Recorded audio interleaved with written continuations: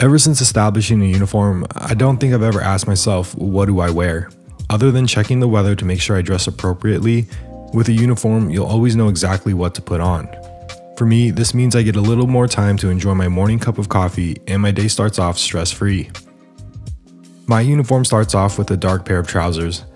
Aside from darker colors hiding shadows and making you appear trimmer, if you're clumsy like me, they will still look clean by the end of the day, even if you accidentally spill something on them. Trousers with stretch are always welcome. Elastane in the fabric allows the fabric to move with you and feel less restraining.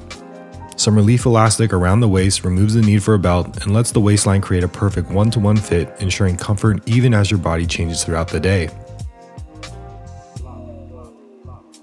The perfect accompaniment to the trousers is a crisp white shirt.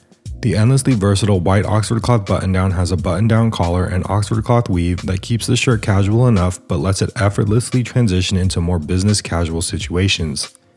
If you're not sure what your day is going to look like, this shirt will have you covered.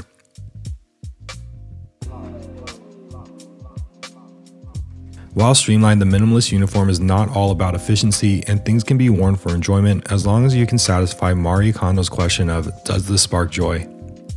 For my uniform, two additional accessories spark joy for me, and while they provide no added function, I consider them essential.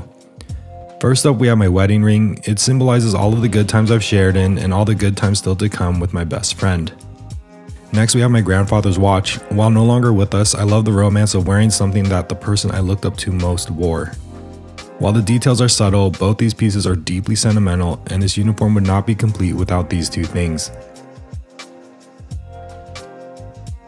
An all-day uniform requires all-day comfort. As the weather changes throughout the day, we want to ensure we are comfortable from sun up till sundown. Besides the dead of winter, a single layer will usually suffice. Here in the Silicon Valley, everyone loves a good zip-up hoodie.